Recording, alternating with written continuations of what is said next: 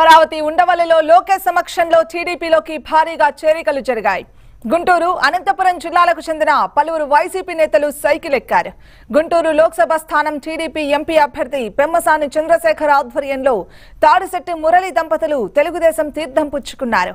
అనంతపురానికి చెందిన వైసీపీ నేత జయరాం నాయుడు దంపతులు సహా ఐదుగురు కార్పొరేటర్లు టీడీపీలో చేరారు. ముస్లిం మైనార్టీలను టీడీపీ గుండెల్లో పెట్టుకుని చూసుకుంటుందని నారా లోకేష్ చెప్పారు. సిఏఏ బిల్లుకు పార్లమెంట్లో మద్దతు పలికిన వైసీపీ ఇప్పుడు తెలుగుదేశంపై చేసే దుష్ప్రచారాన్ని ఎవరు నమ్మరన్నారు?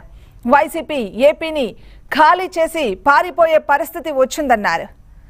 ఎర్రబుక్ అంటే ప్రతి ఒక్కరిలో వణుకు మొదలైందన్నారు. ఈ నలభై రోజులు అప్రమత్తంగా ఉండి ప్రతి ఓటు కూటమికి పడేలా శ్రేణులు కృషి చేయాలని లోకేష్ పిలుపునిచ్చారు. పాదయాత్ర పూర్తయిన తర్వాత జైహో బీసీ సభ పెట్టి మా బీసీ సోదరులకి ప్రత్యేక హామీలు తెలుగుదేశం పార్టీ ఇచ్చింది. హామీ. యాభై సంవత్సరాల వయసు నిండిన బీసీ సోదరులకి ప్రతి నెల పెన్షన్ తెలుగుదేశం ప్రభుత్వం ఇవ్వబోతుంది. బీసీ సోదరులు ఇంట్లో పెళ్ళి జరిగితే లక్ష రూపాయలు పెళ్ళి కానుక ఇచ్చే బాధ్యత మేము తీసుకుంటాం. ఉప కులాల వారిగా కార్పొరేషన్లు ఏర్పాటు చేశారు.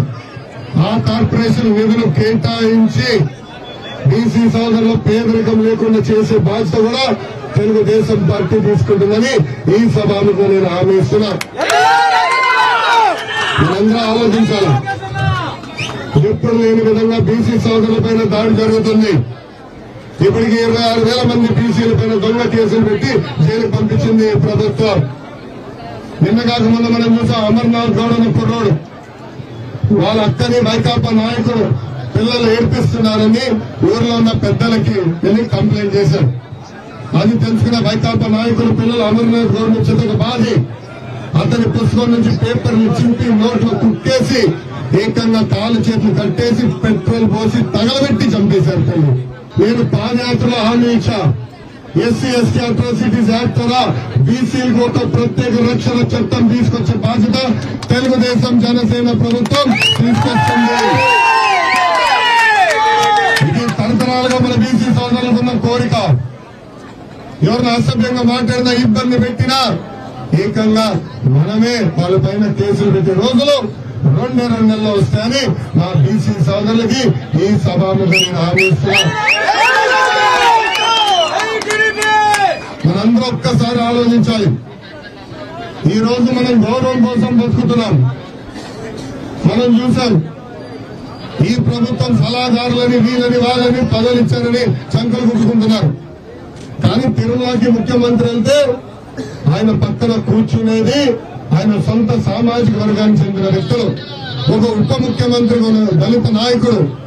అదే విధంగా మంత్రులు ఉన్న బీసీ నాయకులందరూ వెనకాల నుంచిన పరిస్థితి ప్రజలందరూ ఒక్కసారి దయచేసి గమనించాలా? ఈ ప్రభుత్వానికి బీసీలంటే చిన్న చూపు. అందుకే ఎక్కడ గౌరవం లేదు.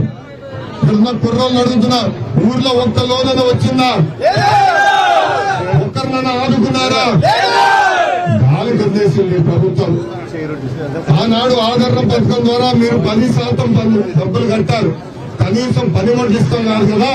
కట్టిన పది శాతం డబ్బులు తిరిగి మీకు వెనక్కి ఇవ్వలేదు. అందుకే బీసీ సోదరులు చెప్తున్నాం.